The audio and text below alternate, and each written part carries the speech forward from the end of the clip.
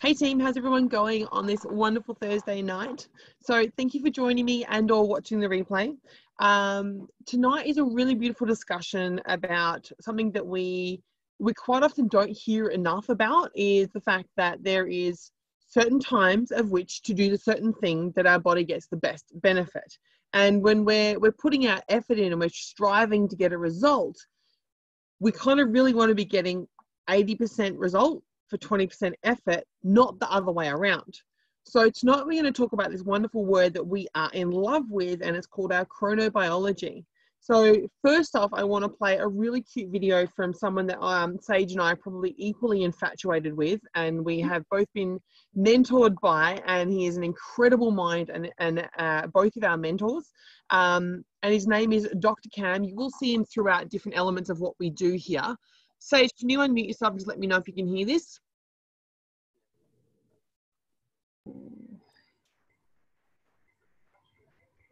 No. Do you want to switch share and share it from mine? Yep. Okay. Yep. Yay, technology working fine.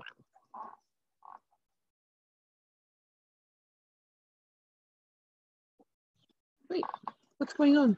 What's going on? Shut up. There we go. All right. Sage, you're muted, honey. I've just got to find it now. Just play some little elevator music here. I know I sent it to you. You did scroll back about 15 scrolls. Guys, if you guys saw how much we chit chat between ourselves continuously all day long. all of it professional, of course. Oh, totally. When did I send it? Oh, here we go. Yeah. There.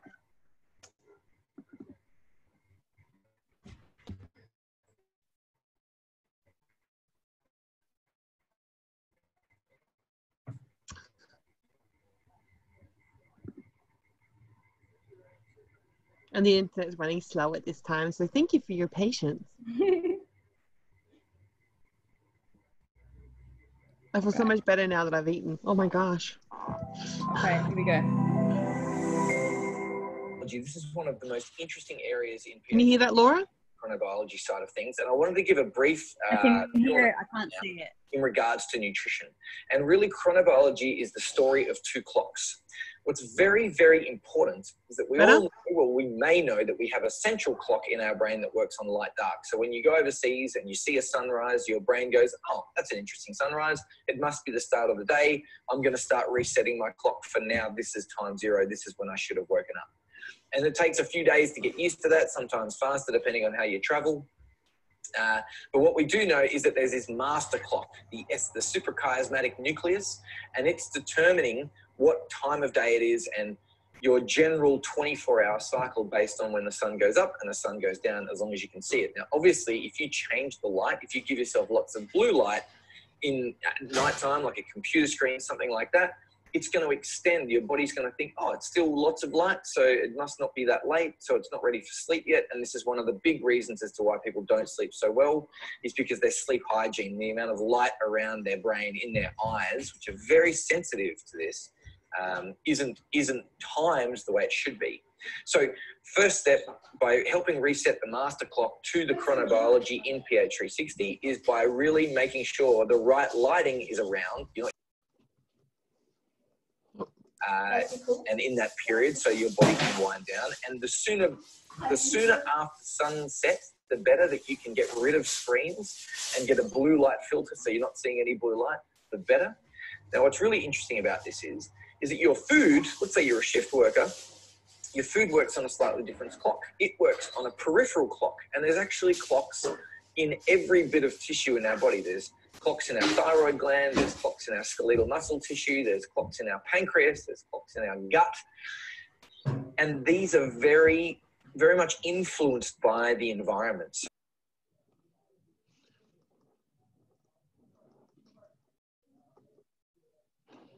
Sage, you have to unmute, honey. However, your body clock, your master clock is saying, well, that is not the time that it is right now. Why is there a difference here? I can see the guts kind of running his own party down here. That is called desynchrony.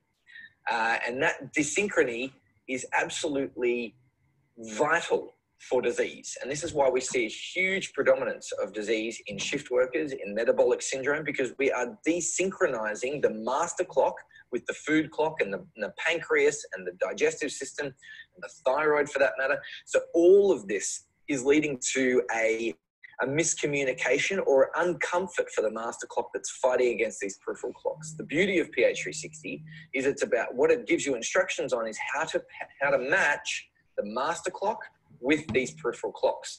And if you get that right, this is why timing is so powerful for bodies.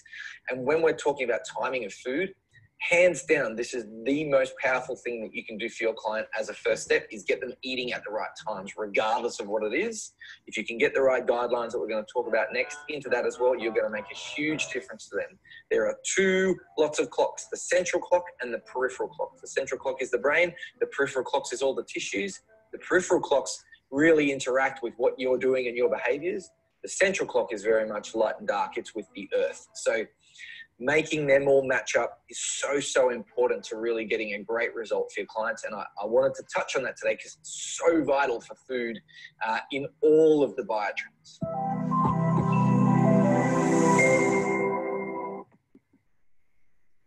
Thank you, Sage. No problem. So, Dr. Cam, uh, I, am sorry we couldn't see that, guys. Like, they, you could hear it, but you couldn't see it. But what I'm going to do is pop that into the WhatsApp chat. Sage, if you want to do that, pop that into the WhatsApp chat. Um, just that YouTube link so people can have a look at that in their own time. Um, so, I mean, ultimately, the conversation is, is, and I've Cam's used this before, and I fell in love with the analogy. Our body's like Grand Central Station, right? We have all these different trains that are needing to run on a certain schedule to be effective. But if we have one train that leaves one stop even four minutes late, it's going to then mean the next train will be delayed, the next train will be delayed, and suddenly the whole scheme, the whole system will be off just by a bit. And this is when the whole body falls into this, um, it falls off of its axis, and we then open ourselves up to inflammation, we open ourselves up to um, dis ease um, and, and, and misdirection of, of different elements of our body. And these different clocks are super important. So understanding that we can only do the best that we can, but at the same time, we want to try and work to understand and resynchronize those trains or those clocks so that our, everything is running in the right time for the better health of our entire system. So I'm going to share with you guys, hopefully successfully this time, a little something something that we've put together that Sage, the master of of um these things that is good at. Words are great tonight. Uh, so chronobiology. Chrono is king. Chronobiology is something that is is just so underrated and, and it is something that's totally key to the programming and profiling that we utilize. So chrono and biology are two different words brought together. Chrono is time and biology is the study of life.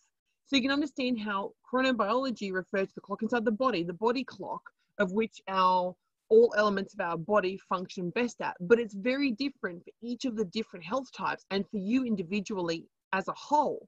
So when we get to looking at it, uh, our, we have this one clock which mostly is called the body clock is called the central clock, and it's roughly 24 hours. It's actually just over 24 hours, and this clock responds to light and dark. So like when you like um, someone like Sage, she wakes up super early.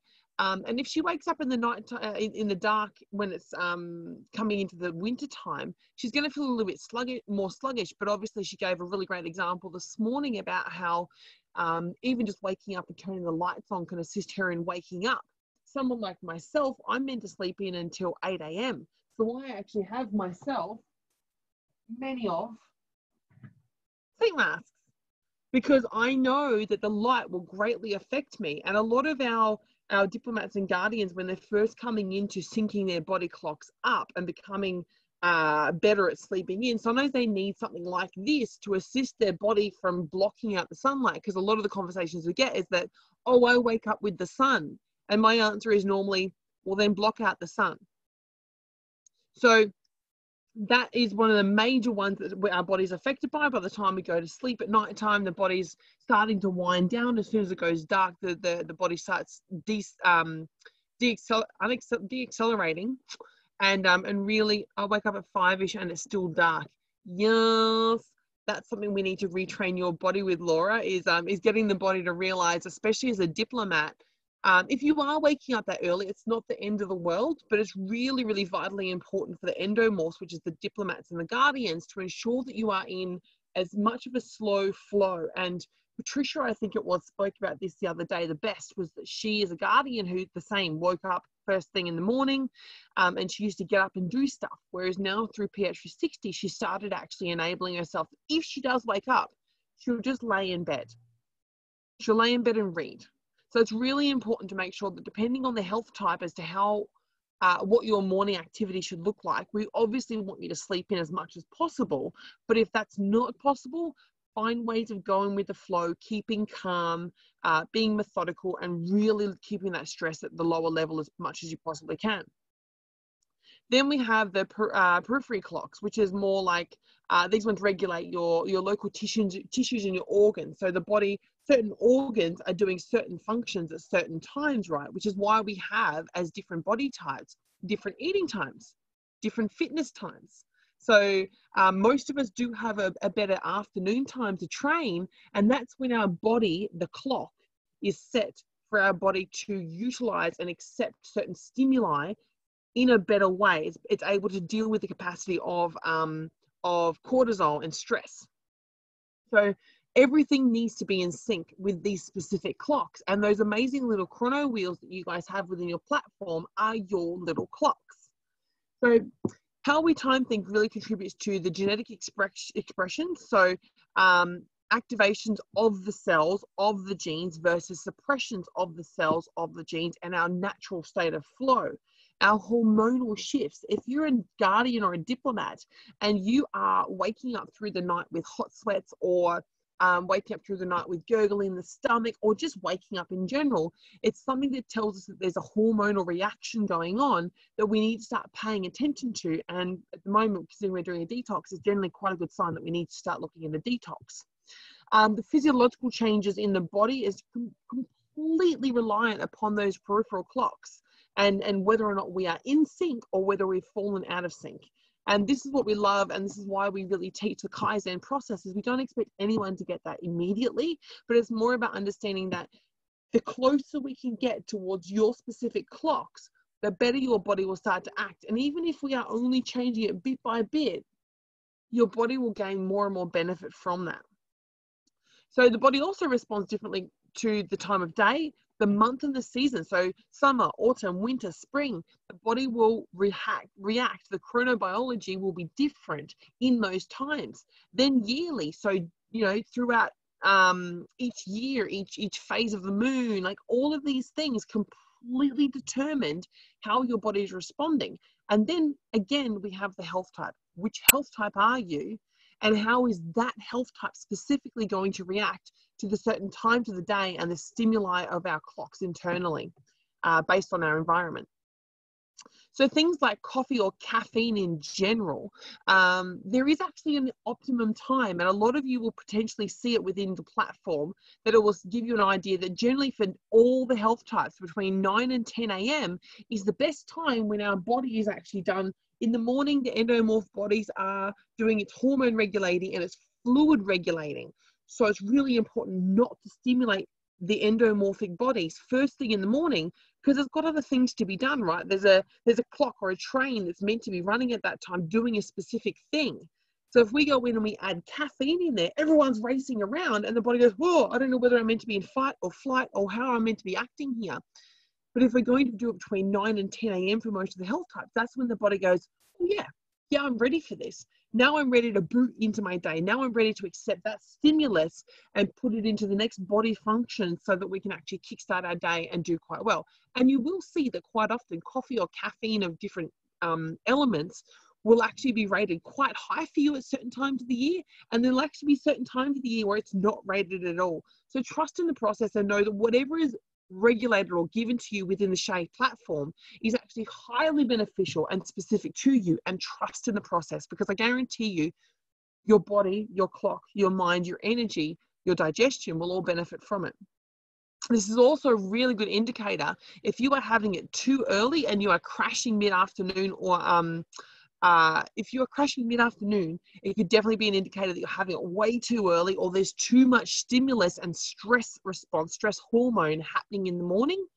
Um, and also if you have it too late in the day, it could mean you're actually, if you have it too late in the day, you're dependent, you're, you're basically be putting your body in a in a in a shift of about three hours in the afternoon. So if you're getting any sleep problems going to sleep, potentially you might be having some kind of a caffeine far too late, uh, a stimuli that's way too late in the day that's setting your your clocks or your trains off of its schedule and and causing a, a stress response later on as well.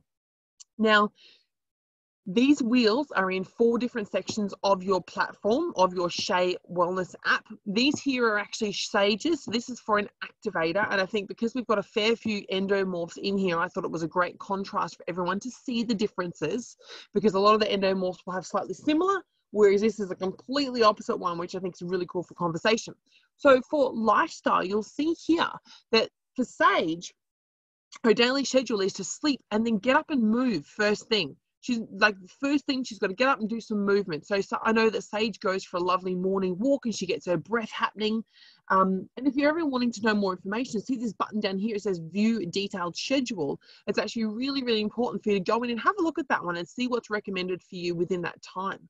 Then it goes into a mental activity between 9 and 12, socializing between 12 and 3, which is we'll come back to that. Be active between 3 and 6 and be creative between 6 and 9 rest between 9 and 10 so you can see through a day this morning part is where it's like uh, sorry this this mid middle day um, towards the mid towards the afternoon is when she's meant to be utilizing a fair bit of her energy. Morning's more about flow and movement but in the afternoon it's about being active so if we then go into her fitness section you can see here it's like wait until you're awake for her fitness. Get up and go between six and eight to the walk. Be productive. Hmm, that's signaling maybe a bit of mental stimulation here. Um, focusing on your star tasks, definite mental stimulation there. Um, Post lunch moves, so that's about moving the body and aiding in digestion.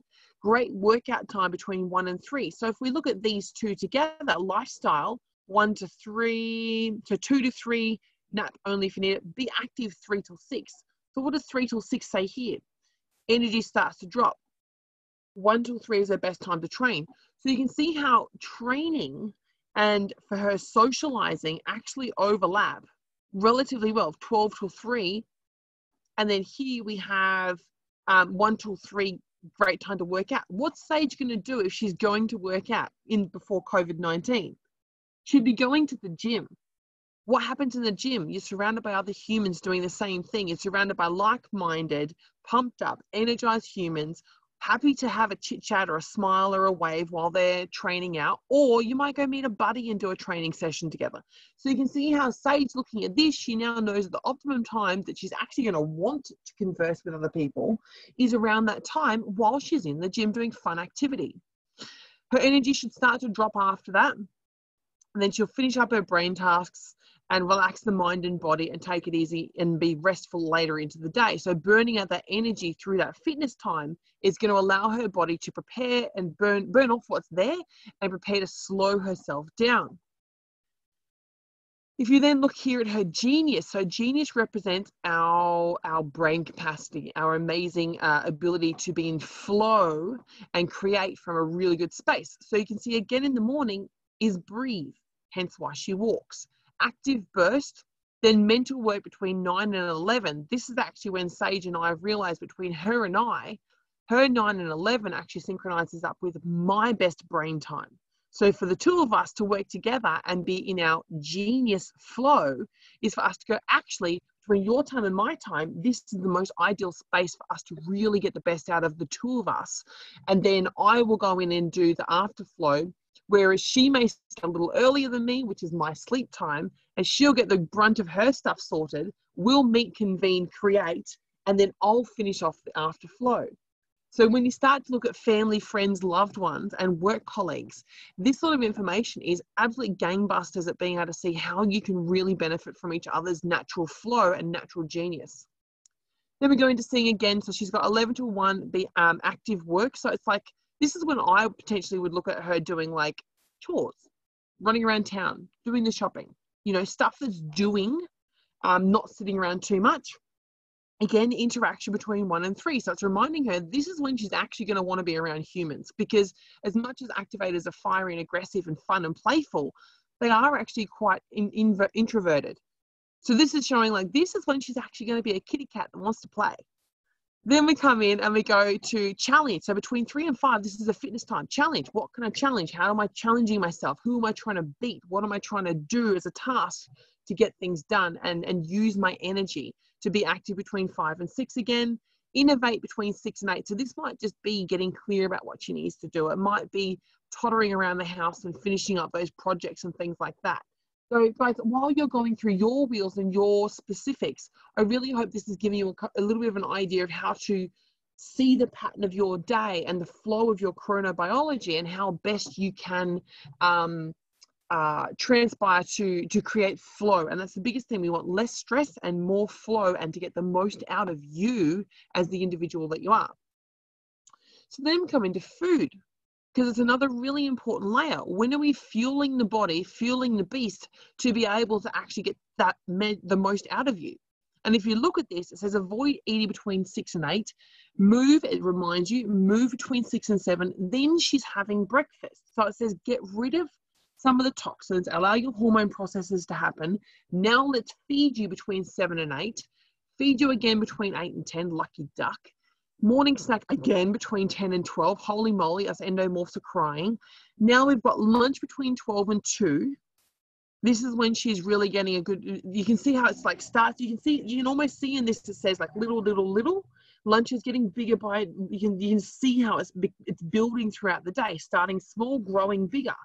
Afternoon snack between 2 and 4. Potentially that would be either refueling her for a training session prior or refueling her after a training session if she needs it. Be active uh, between four and six if she hasn't already between one and three. And then dinner between six and eight.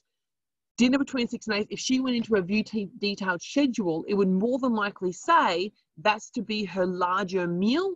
And the reason for that is she's expelled all this energy through the day. It's really important for these guys to sedate themselves um, so that their body will calm and go into a sleepy state. Because you know, if we have a bigger meal, quite often we can get quite tired. These guys are really susceptible to that.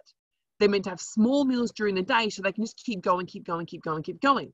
The endomorph is more about having a bigger lunch, move your body, and then have a smaller dinner if you even feel like it, so that we can go to sleep and allow our body, because we have such long digestive tracts as endomorphs, it's about allowing the body through the night time to not be overloaded so it can do all of its hormone processing at night. So I really hope that's given you guys a little bit of an understanding, a little bit of a clarity on those cool wheels, what they mean and how you can overlace them. If you find that to be um, still a little um, heavy or a little hard to get your head around, I'm more than happy to share this. I've created it. And what you can do is go through each of those wheels, each of those sections, and layer them in. You, if you're not an endomorph, you'll probably have a much earlier start time than me. But this is mine. And so I went through and went, right, what does it say for my day for genius? What does it say for food, fitness, lifestyle? Now, what are the ideal tasks? What are the stuff I like to, want to, need to get done in my day? And how do these synchronize up across the pan so that I can get that task done and create my most flow for those time frames? How can I honor my body and all the elements of the outputs so that I am kicking it? So if you find that to be desirable to assist you, let me know and I'll happily give that to you. It's a, a copy and paste kind of thing. Um, but I know that for me, I, I needed just a little bit of a, a, a clearer pattern as to how that worked for me. Um, but it's really about for you guys how we can assist you in creating the flow. So I hope I've talked your ear off there for a bit. Laura, is there anything that you feel within your chrono, within your time frames that you have any questions, thoughts, or theories about? Also, so I can grab my breath. Not at the moment, she said in the comments. Awesome. Well, Sage, is there anything you feel like adding? No, I think you covered all of it. Um, and some. Go, Sharna. Um, but just checking in with Laura, do you have have you got your chrono sorted? Do you have it? Do you live by your chrono right now? Where are you? She's um thing, but she's she's in the chat. Oh, okay. Go read through all her chronos. Okay, yeah. Yeah. So for everybody, if you're watching the replay, go read your chronos and have a look at where they are and just keep thinking about Grand Central Station. Do I want my trains running on time and do I want to actually be getting 80% effort, no, 80% results for my 20% effort? Or do I feel like pushing the other way? It's very difficult on how I operate. Yeah. And you know what, guys? Look, I will be so honest with each and every one of you is that I got into PH360 and it took me a year. And a lot of the endomorph coaches, um, and Laura is an endomorph, a lot of the endomorph coaches, it can actually take us quite some time to come out of the habitual existence that we've been living for quite some time and start to create that flow and release um, the reactive state. Actually, Sage, could you share what we were talking about the other week with me and how endomorphs shift and change um, and how we, we, we go about missing the, what we had so we start searching for it in that process. I don't remember what we were talking about. You need to remind me. Oh so it's really the, the process for myself in um, stepping into oh. my flow and trusting it. Yeah you got it? Yes. This wasn't so much related to chronobiology though. No it wasn't but it was totally relevant to the process of releasing, relin- relinquishing the habitual way that many of us have lived under the expectations of what life and society needs to be. Yeah, so a, a diplomat who takes action quite quickly because they're told to just do it, get up, get moving, do it. Um, what I found with diplomats is when they do it and they don't feel like they've considered all of the other options before they take action. While they're taking action, they also add all the other options in, which then creates quite a lot of chaos and they can't actually perform the task. So when Sharna and I work together, I'm generally the one who will take the action. And so then Sharna can then look at all the other options while I'm taking the action and suggest all the things that I've missed because I tend to miss them. and so we can complement each other a lot a lot better. Um, but something in regards to chrono if i can share a little bit of my story in regards to chrono is i like true activator form just rejected it for a little bit. Uh, then but i was suffering from severe insomnia because i was going to bed later and waking up later saying i was more of a night owl um, similar to how a diplomat will say, no, I'm actually an early morning person. And so once I started um, adhering to the chrono and getting up earlier, I, I actually started to sleep. So earlier on this week, I was out of sync a little bit. I wasn't sleeping. I had to get up for a call. So I had to get up at the six o'clock. And then that night I slept. And same with the next night. So if I adhere to my chronobiology, I, I sleep. Uh, I also am more productive in my training sessions if I train in the afternoon. I used to train in the morning. The first time I trained in the afternoon, I lifted the my work set as a warm up set. Mm. And so, if I can urge you, the thing with chronobiology, if you just get one thing moving with it and adhere to one thing, it can even just be your wake up time. You'll find that you start to step into flow, and then the other parts of the chrono will sort of start to get into sync. So that would be the major thing is to just start. Yeah. Yeah, yeah, I can definitely talk to Bradley about your chrono and understanding your flow. Um, yeah. And for you, actually, I mean, this is a cool conversation with bosses and whatnot, which is delightful. Um, is someone like the situation you have with Brad is the factor of going, um, Brad, understand that when I come in, I need to plan and organize. So coming in and getting, yeah, so Sage, yeah, yeah. Um, so coming in and I need to come in and I need to see all the stuff. Then I need to create a plan. I then need to know what my day needs to look like and understand where the deadlines are, what the what the the structure is. Um, because a, a diplomat needs to, it's not very good to be like now do. Like that for a diplomat is like, Whoa! can't deal with this. I wasn't planning for this. This is unknown. So whether it's the night before or the morning of, understanding there needs to be an essential planning time so that you know what your expenditure is throughout the day. It's super important for diplomats and guardians. Then the rest of the day can go. Your brain will naturally kick into drive around 11 a.m. And then you are in your flow. So it needs to be understood that there needs to be mundane, simple, organizing uh, clarity in the morning. Then you will build steam and chug along in the afternoon. So because you're doing uh, reception stuff, it's like, cool, Brad, you're starting early in the morning. That's fine. Why don't you guys? Um, this is just me giving you concepts and ideas. Um, would be, oh, she's got something happening. Um, uh, why don't why don't you boys get all your stuff done log what you need for me or text me or have a chat or have a banner or have a, a job task board there so that when i get in at eight or nine o'clock I can see what you guys are processing and doing. Then I can come in and organize it.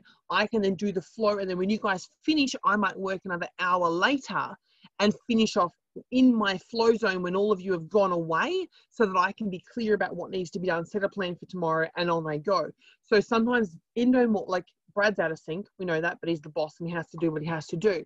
So you then get like the mesomorph format, like the guardian, the, the connectors and the activators would start earlier and then our endomorphs would sit somewhere here.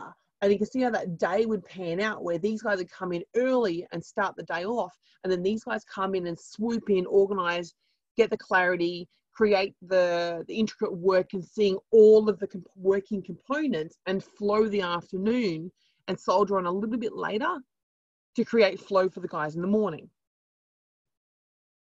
I hope that kind of helps. Yeah. Yeah. The activators will come in and do everything really quickly and just get everything like race around and get everything quickly. And then a diplomat's more more likely to get the same amount of work done at a slower but steadier pace. Yes. Which is great, which is really helpful for bosses to know that the the pace that someone's likely to work at as well. But mm-hmm. yeah. Awesome. Happy to have that conversation. but I hope that gives you guys clarity. And anyone who is watching the replay, which I really hope you guys will, I'm going to make sure everybody is watching the replay. Um, let us know if there there are parts of your life that you feel like you need that kind of a discussion to understand that flow. Do you feel like there's a part of um, of your chronos that you just you're in a funk with and you just can't seem to over like, get over that hurdle or see a clear picture of where it fits um, that's our task, that's our job. And we would love to remind you that today is Thursday. So please then be on, bring those, collect them, bring them with you to Monday's call. So Monday will be 9 a.m. On Pokemoning, go for gold. These guys are the cutest family. They go Pokemoning together. oh, it's so cute. Um, so yeah, so please let us know that you guys um, do animals get body types too? Well, yes. Okay, so quickly we'll go on to that. So if you have a look, the top of the wheel is the connector, and the connector's token animal is a puppy dog because they're like, oh, all friendly, and they want to know what kind of a person you are. They sense it. They're very, very empathic, and then when they like you, they're like, what's going on? And you can be like, yell at them. They're like, oh, but I love you. Oh, but I love you and then we go around to the guardian who are the um the bears so they're like big nurturing when winter time comes they hold for the famine and then they provide for their cubs. They're very protective. They don't like to be grumpy. A bear doesn't like to be angry. But if you mess with their cubs you are dead. Uh, then we come into the diplomats. Um, in i'm like take bella my dog for a walk. Uh, I'm like to take Bella a dog for a walk. Morning walk. Yeah, so the dog might like to go, oh, I like. Yeah, so a morning walk is still fine for an endomorph. Just make it more about the breath work and the appreciation. I know Bella's a little tiny dog, so I totally know that that's probably exactly what you do, which is totally fine. Um, then, yeah, the, the diplomats are the bison. So these guys stand around in the paddock and they chew and they chew and they think and they chew and they think and they chew and they think. Then Um, you come down to the sensors, the sensors of the birds. They're fine, delicate, very brainy, and they're always, their senses are always on because they need to, because there's no other way they can protect themselves other than to fly the way and get out of the way of danger. Then we come to crusaders, they're a horse. Then we come into um, activators, they're a cat actually i also have we also have we spent time over the weekend creating an amazing presentation about the different health types and we would love to drop that into your space and have you guys um, have a look at that. It will be delightful for you all.